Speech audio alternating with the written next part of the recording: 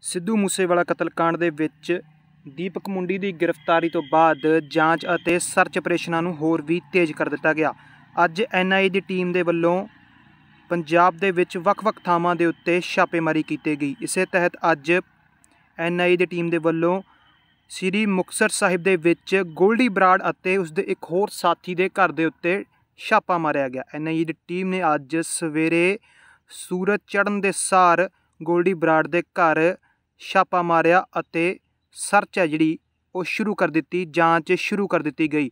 Goldy Broad ਇਸ ਵਕਤ Canada ਦੇ ਵਿੱਚ ਦੱਸਿਆ ਜਾ ਰਿਹਾ ਹੈ, ਵਿਦੇਸ਼ ਦੇ ਵਿੱਚ ਦੱਸਿਆ ਜਾ ਰਿਹਾ ਹੈ ਅਤੇ ਇਹ ਵੀ ਕਿਹਾ ਜਾ ਰਿਹਾ ਹੈ ਕਿ ਉਸ ਨੂੰ ਜਲਦ ਭਾਰਤ ਲਿਆਂਦਾ ਜਾ ਸਕਦਾ ਪੰਜਾਬ ਲਿਆਂਦਾ ਜਾ ਸਕਦਾ ਪਰ ਐਨਆਈਏ ਦੇ ਵੱਲੋਂ ਆਪਣੀ ਜਾਂਚ ਦੇ ਵਿੱਚ ਤੇਜ਼ੀ ਲਿਆਂਦੀ ਗਈ ਹੈ ਅਤੇ ਜਾਂਚ ਨੂੰ ਮੁਕੰਮਲ ਕਰਨ ਦੇ ਲਈ ਹੁਣ ਗੋਲਟੀ ਬਰਾਡ ਦੇ ਘਰ ਛਾਪਾ ਮਾਰਿਆ ਗਿਆ ਸ੍ਰੀ ਮੁਕਤਸਰ ਸਾਹਿਬ ਦੇ ਵਿੱਚ ਅਤੇ ਉਸ ਦੇ ਇੱਕ ਹੋਰ ਸਾਥੀ ਦੇ ਘਰ ਦੇ ਉੱਤੇ ਛਾਪਾ ਮਾਰਿਆ ਗਿਆ। ਫਿਲਹਾਲ ਜਾਂਚ ਜਾਰੀ ਹੈ ਅਤੇ ਜਲਦ ਵੱਡੇ ਖੁਲਾਸੇ ਹੋ ਸਕਦੇ ਨੇ।